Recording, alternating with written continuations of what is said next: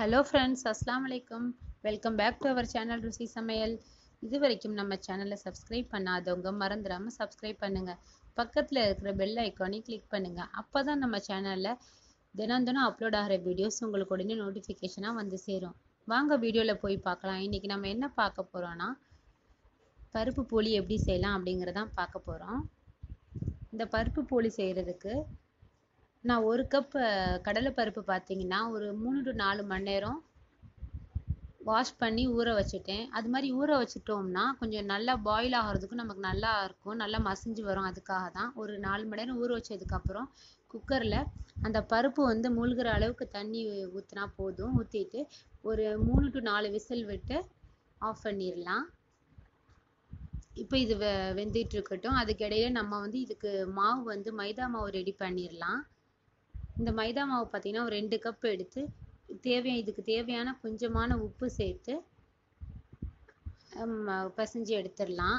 இது லைட்டாக வந்து ஒரு ஒரு பிஞ்ச் வந்துட்டு மஞ்சத்தூள் சேர்த்திங்கன்னா சின்னதாக ஒரு கலர் கொடுக்கும். நம்ம ஆர்டிஃபிஷியல் கலர் யூஸ் பண்ணாமல் இது மாதிரி மஞ்சத்தூள் சேர்த்தோம்னா உடம்புக்குமே கொஞ்சம் நல்லது. ஸோ அதனால கொஞ்சமாக இது மாதிரி சேர்த்து கொஞ்சம் கொஞ்சமாக தண்ணி விட்டு நம்ம கொஞ்சம் சாஃப்டாகவே சப்பாத்தி மாவை விடையுமே கொஞ்சம் சாஃப்டாக பிசைஞ்சு அது மேலே நல்லா எண்ணெயை ஊற்றி நம்ம அப்படியே இதை அப்படியே டிஸ்டர்ப் பண்ணாமல் அப்படியே எடுத்து வச்சிடலாம். இந்த மாவு வந்து அப்படியே ஊறிட்டு இருக்கட்டும்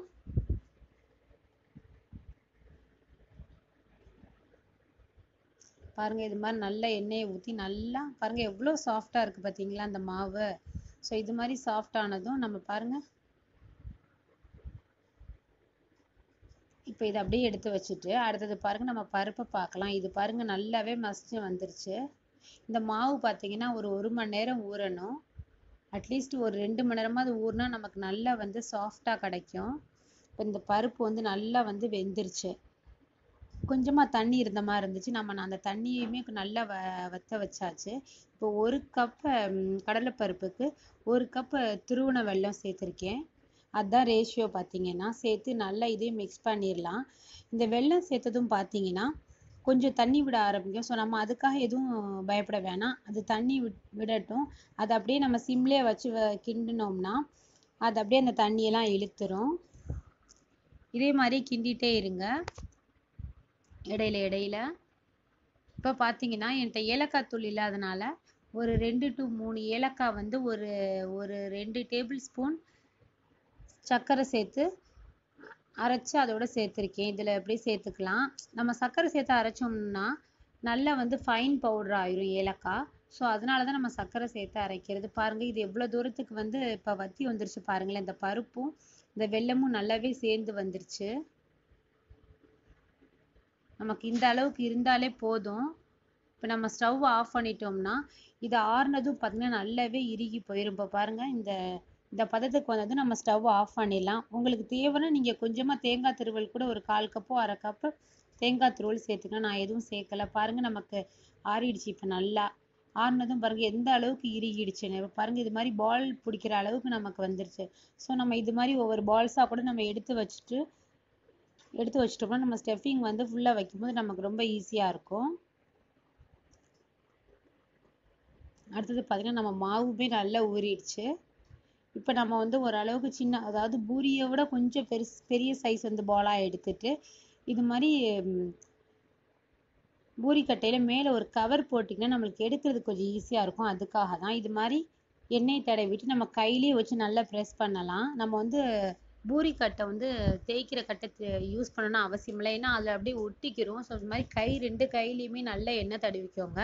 எண்ணெய் தடவிட்டு இது மாதிரி நம்ம க உள்ளங்கையில் வச்சு நல்லா ப்ரெஷர் ப ப்ரெஸ் கொடுத்து கொஞ்சம் விரிஞ்சதும் அதுக்குள்ளே நம்ம செஞ்சு வச்ச அந்த ஸ்டஃபிங் பாலை வந்து உள்ளே வச்சு நல்லா இது மாதிரி உள்ளே வச்சுட்டு நல்லா அப்படியே ஃபோல்டு பண்ணிடலாம் பாருங்க நான் எப்படி செய்கிறேன்னு பாருங்கள் இதே மாதிரியே ஸ்டஃபிங்கை உள்ள வச்சு இந்த மைதாவெல்லாம் ஃபுல்லாக வச்சு அப்படியே கோட் பண்ணி ஃபுல்லாக கவர் பண்ணிடலாம் இந்த கவர்லேயுமே கொஞ்சம் எண்ணெய் ஊற்றிக்கோங்க நல்லா. எண்ணெயோ நெய்யோ உங்களுக்கு எது விருப்பமோ நீங்கள் அது மாதிரி சேர்த்துட்டு நல்லா கையை வச்சே ப்ரெஷர் கொடுத்து நல்லா இப்படி கையிலேயே நல்லா அமுத்தி விட்டிங்கன்னா நல்லா வந்துட்டு விரிஞ்சு வரும். பாருங்கள் எவ்வளோ சாஃப்டாக எவ்வளோ அழகாக வந்திருக்கு பாருங்கள் இதே நம்ம கையிலேயே ப்ரெஷர் கொடுத்தாலே போதும். அது அழகாக விரிஞ்சு வந்துடும் இந்த கவருங்கிறதுனால அதில் ஒட்டாமலே அழகாக வந்துருச்சு பாருங்க. இப்போ நம்ம இதை தோசை கல்லில் போட்டு எடுத்துடலாம்.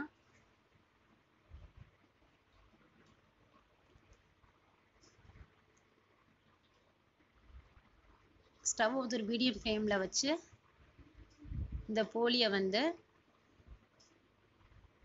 நம்ம ரெண்டு பக்கமே நல்லா ரோஸ்ட் பண்ணி எடுத்துடலாம்.